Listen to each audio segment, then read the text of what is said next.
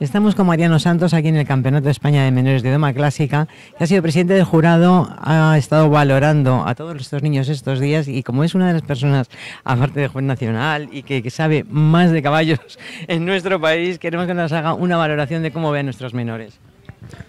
Buenas tardes, bueno, muchas gracias por esos elogios.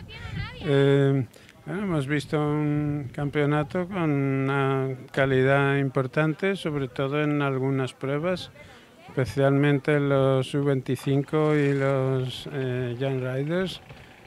Hemos visto una calidad importante, las otras pruebas también han tenido los, sobre todo los primeros puestos de las pruebas de calidad. Y yo creo que el futuro con estos jinetes está asegurado. El nivel de los caballos, porque los caballos, mm, tú que llevas tantos años como nosotros que lo hemos visto, ¿cómo ha ido cambiando? Porque es que han mejorado una barbaridad. Eh, sí, han mejorado en los caballos, la calidad de los caballos y también la monta. Eh, en algunos casos la monta todavía tiene que mejorar un poco más la técnica. ¿Eso es, eso es tema de la preparación? Eh, sí, es tema de, de entreno, digamos, entreno eh, más y mejor, pero sobre todo mejor.